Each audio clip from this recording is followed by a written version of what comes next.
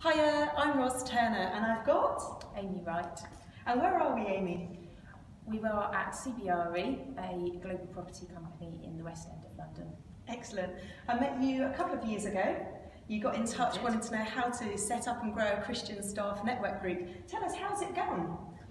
It's, it's gone from very small beginnings to now being uh, operating in several different offices wow. over our company. So it's gone very well. So good. And how, how did it happen? How did you get from a small two or three people praying together to operating across your organisation?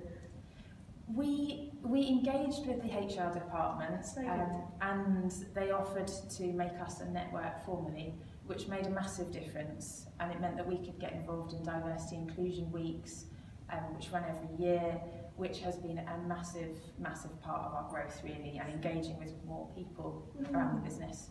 So you were telling me earlier that uh, you did something about meditation here.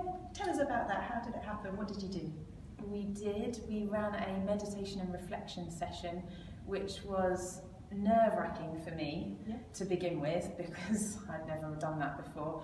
But it was really well received. We ran um, an, an hour session people just to be come be relaxed listen to scriptures even though they you know people came who were Christians weren't Christians from other faiths.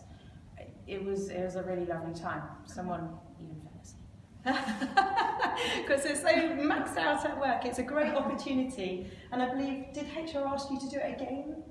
Yes, yeah, they loved it, and actually some of the HR department came to it. So we've got great engagement. They've asked us to run it again as part of Mental Health Awareness Week. Great. In May. Great. So meditating on the Word of God, whether you're a Christian or not, is good for your mental state of mind. So well done, Amy. Well done, the team at CBRE. Can't wait to hear what God's got planned for you next. Thanks, Amy. Thank you.